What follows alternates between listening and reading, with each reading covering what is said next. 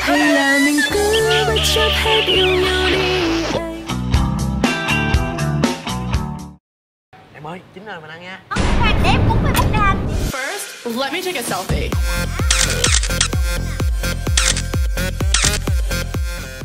Rồi.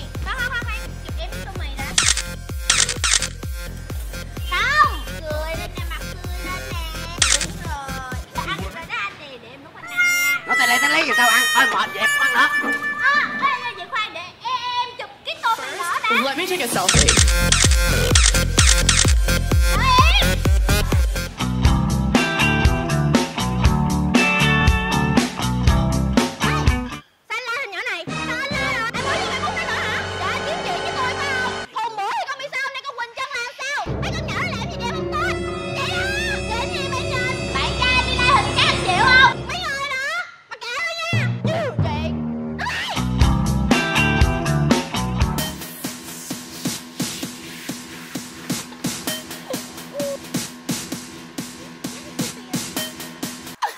Ngày làm con gái.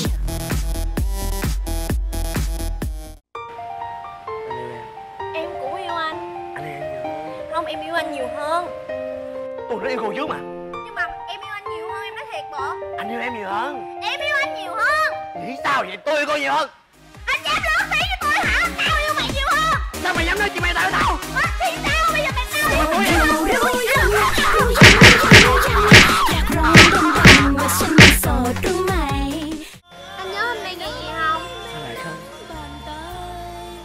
Tặng em món quà 49 ngày mình quen nhau. Kỷ niệm. Tặng anh món quà 69 ngày mình quen nhau. Nhân ngày kỷ niệm một năm mình quen lại Xong chia tay một tháng anh tặng em món quà. Kỷ niệm 3 năm chia tay. Hai năm ly hôn Chồng đi Mỗi người một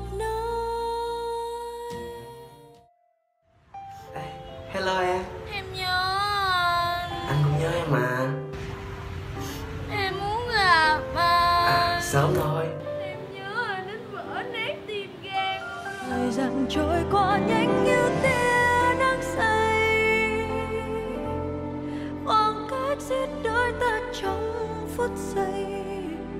Khi nào mình gặp được nhau nhỉ? Sao em sống được em muốn gặp anh ngay lập tức. Xong rồi xong rồi xong rồi. Đây. Xong?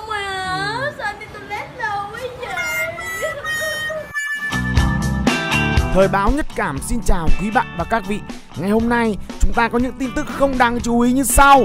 Cư dân mạng đang sốt xình xịch, nóng ngừng ngực, nắng cưng cực. Hình ảnh cô giáo Thảo vô tình một cách cố ý làm lộ hình xăm tên người yêu là soái ca Tô Phở Tái. Trong lúc cà phê chém gió một mình. Vậy là sau nhiều lần phủ nhận chuyện gây scandal Giờ đây lại có thêm bằng chứng mối quan hệ làm màu của hai người.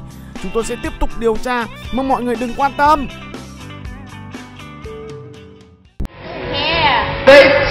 Duck inside the egg and made me eat it.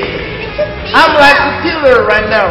I'm like, you know, you guys Vietnamese are like very tough, you know, very strong.